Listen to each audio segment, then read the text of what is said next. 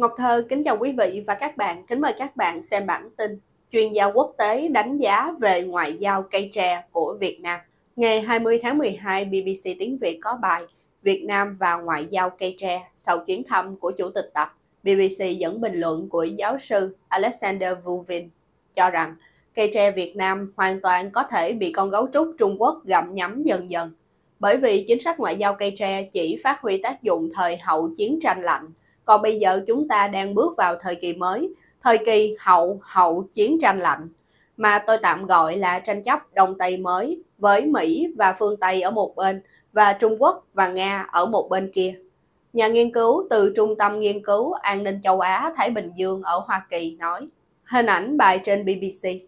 Giáo sư Vu Vin cho rằng, trong khi Việt Nam ra sức cân bằng mối quan hệ với các cường quốc thì đã bị Trung Quốc chớp thời cơ. Tôi nghĩ một trong những lý do lớn mà Việt Nam quyết định chấp nhận bài thuốc bắc này là họ rất muốn cân bằng trong đường lối đối ngoại với các nước lớn. Sau khi họ nâng cấp hai bậc với Mỹ, rồi nâng cấp quan hệ với Nhật Bản, thì họ thấy mình đã ngã sang phía Mỹ-Nhật rồi, nên ngã lại một tí sang Trung Quốc cho cân bằng. Do đó, Trung Quốc đã chớp được thời cơ này và ép được Việt Nam nâng cấp quan hệ từ đối tác chiến lược toàn diện lên cộng đồng chia sẻ tương lai hay chung vận mệnh này. Nhượng bộ nằm ở một chỗ Việt Nam không được lợi gì trong cộng đồng này. Cái lợi thì rất nhỏ mà rủi ro thì rất lớn, ông nhận định. Cộng sản Việt Nam luôn tự hào về ngoại giao cây tre của mình. BBC dẫn tiếp nhận định của giáo sư Zachary từ Đại học National War College, Mỹ, cho rằng rõ ràng Bắc Kinh đã không hài lòng trước việc Việt Nam có những bước nâng cấp quan hệ ngoại giao với Mỹ, Nhật và Úc. Ông Tập, giống như lãnh đạo Trung Quốc khác, đã nhắc nhở các lãnh đạo Việt Nam về tầm quan trọng duy trì bản chất chủ nghĩa xã hội trong chính sách ngoại giao của mình. Tôi không hào hứng về cộng đồng chia sẻ chung tương lai của Trung Quốc, quá nhiều mỹ từ, trong khi chỉ phản ánh một vài nguyên tắc và theo nhiều cách Bắc Kinh đang ra sức kiềm chế các hành động của Hà Nội trên Biển Đông. Ranh giới giữa các cuộc biểu tình chống Trung Quốc và chống Đảng Cộng sản Việt Nam cũng đang rất mong manh. Bên cạnh đó, BBC dẫn ý kiến của tiến sĩ Huỳnh Tâm Sáng từ Đài Loan nhận định nền hòa bình hiện nay mong manh luôn có thể bùng phát thành các xung đột như ở Đông Âu và Trung Đông hiện nay, đồng thời băng giá vì các quốc gia hợp tác thận trọng về chừng lẫn nhau và không phải lúc nào cũng thực tâm trong đối thoại. Trong bối cảnh đó, nền ngoại giao cây tre bị hiểu là thiên về ứng phó bị động thay vì hành động có tính chủ động, nhất là thể hiện vai trò lãnh đạo trong các thể chế khu vực. Ông bình luận, Tổng bí thư Việt Nam Nguyễn Phú Trọng tiếp Chủ tịch Trung Quốc Tập Cận Bình trong khung cảnh cây trúc uốn éo gây nhiều tranh cãi.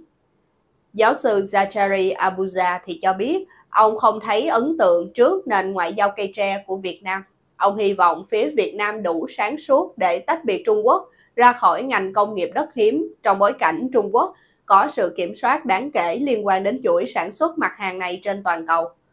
Trong khi đó, giáo sư Vu Vin không lạc quan về viễn cảnh hợp tác Việt-Trung. Ông lấy ví dụ về đất hiếm. Trung Quốc nắm mọi công nghệ chế biến tốt hơn, còn Việt Nam chỉ có khai thác thôi. Khuyến khích chuyển quặng thô sang Trung Quốc có thể có những hậu quả là Việt Nam sẽ thiệt thòi phụ thuộc hơn vào Trung Quốc. Một số người nghĩ rằng đây là một dạng mua thời gian. Có người nói phải giữ kẻ thù ở gần hơn. Câu này chỉ đúng trong những hoàn cảnh nhất định trong hoàn cảnh của Việt Nam hiện nay thì tôi thấy không đúng. Giáo sư Vu Vin nói. Quý vị và các bạn vừa theo dõi chương trình cập nhật tin tức của Ngọc Thơ thời báo chấm D với bản tin chuyên gia quốc tế đánh giá về ngoại giao cây tre của Việt Nam.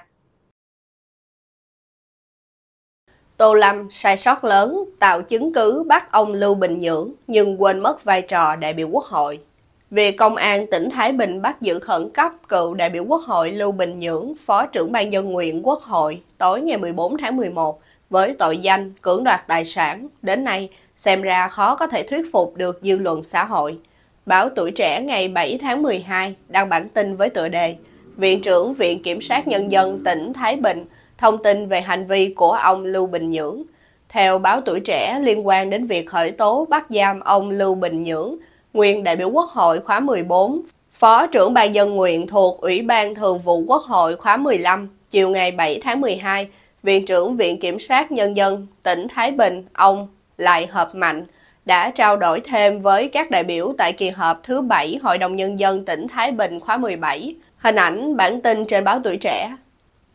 Viện trưởng Viện Kiểm sát tỉnh Thái Bình lại hợp mạnh đã thừa nhận suốt 24 ngày qua kể từ ngày 14 tháng 11 sau khi bắt khẩn cấp đối với ông Lưu Bình Nhưỡng, dư luận xã hội và cử tri cả nước rất quan tâm đến vấn đề này. Ông lại hợp mạnh nhắc lại căn cứ ban đầu để khởi tố và bắt giam ông Lưu Bình Nhưỡng là dựa trên kết quả điều tra vụ án Phạm Minh Cường, tức Cường Quắc, là băng nhóm chuyên cưỡng đoạt một số doanh nghiệp được cấp phép khai thác mỏ cát ven biển trên địa bàn xã Thụy Dương, huyện Thái Thụy, tỉnh Thái Bình. Ông Lưu Bình Nhưỡng đã bị công an tỉnh Thái Bình cho là đồng phạm giúp sức cho Phạm Minh Cường cưỡng đoạt tài sản theo khoản 4 điều 170 Bộ luật hình sự. Theo ông lại hợp mạnh công cuộc làm ăn của nhóm Phạm Minh Cường bị nhóm khác cản trở nên Phạm Minh Cường nhờ ông Lưu Bình Nhưỡng giúp can thiệp vì có mối quan hệ từ trước. Cường được cho là nhận ông Nhưỡng là bố nuôi và ông Nhưỡng nhận Cường là cháu. Tuy nhiên, công luận thấy rằng Viện trưởng Viện Kiểm sát tỉnh Thái Bình lại hợp mạnh đã không nói rõ ông Lưu Bình Nhưỡng đã can thiệp tác động cơ quan cụ thể nào, tác động như thế nào, tạo điều kiện gì cho nhóm Phạm Minh Cường và tác động này đã trợ giúp cho hoạt động thu mãi lộ của doanh nghiệp ra sao. Ông Kim Văn Chính, cựu giảng viên của Học viện Chính trị Quốc gia Hồ Chí Minh trong status với tựa đề Vụ án Lưu Bình Nhưỡng đã đưa ra nhận xét rằng có vẻ công an Thái Bình càng ngày càng bế tắc trong việc tìm bằng chứng kết tội ông Nhưỡng cho đúng luật pháp. Ban đầu bằng chứng được cho là bộ cánh cổng nhà thờ họ ở quê ông Nhưỡng được công an bảo vệ như bảo vệ một bằng chứng. Nhưng đến hôm nay, công an tỉnh Thái Bình vẫn không chứng minh được bộ cánh cổng đó là bằng chứng tội phạm ở chỗ nào. Đó là lý do tỉnh Thái Bình phải đẩy Viện trưởng Viện Kiểm sát lại hợp mạnh ra để chống chế, mà cũng chỉ công bố những nghi vấn mờ nhạt về tội đồng lõa cướp đoạt tài sản của ông Lưu Bình Nhưỡng, với lý do Cường Quắc thường khoe là con nuôi của ông Nhưỡng để làm chứng cứ kết tội đồng lõa cưỡng đoạt tài sản thì quá non tay. Hình ảnh cựu đại biểu Quốc hội Lưu Bình Nhưỡng, Phó trưởng ban dân nguyện Thường vụ Quốc hội.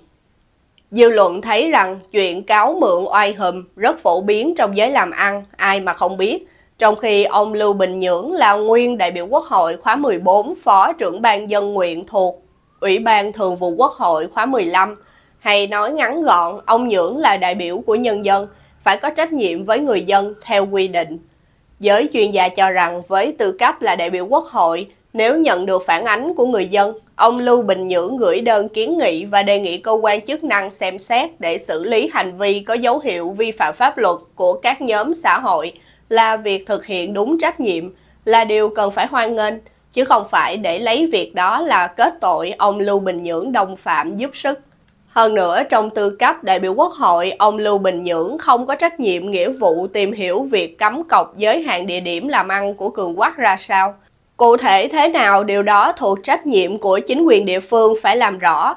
Việc đại biểu quốc hội nhưỡng nghe phản ánh của người dân, sau đó gửi đơn kiến nghị là điều bắt buộc phải làm trong tư cách của một người đại diện cho dân, chứ không phải là tư cách cá nhân hay cơ quan thực thi pháp luật. Hình ảnh Bộ trưởng Công an Tô Lâm sau khi có đơn phản ánh của ông Nhưỡng, kết quả ra sao thuộc về thẩm quyền xác minh kết luận của cơ quan bảo vệ pháp luật, ông Lưu Bình Nhưỡng không phải là người ra quyết định.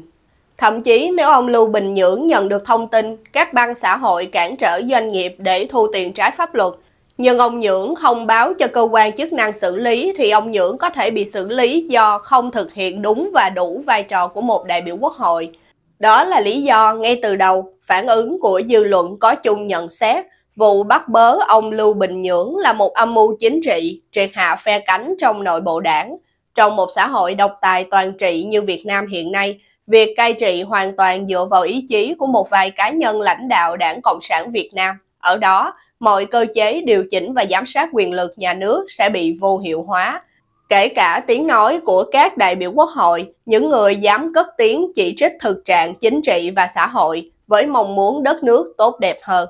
Quý vị và các bạn vừa theo dõi chương trình cập nhật tin tức của Ngọc Thơ Thời báo chấm D với bản tin Tô Lâm sai sót lớn tạo chứng cứ bắt ông Lưu Bình Nhưỡng nhưng quên vai trò đại biểu quốc hội.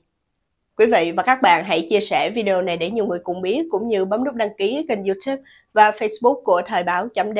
để được cập nhật những bản tin mới nhất, nhanh nhất và trung thực nhất. Ngọc Thơ Thời báo chấm D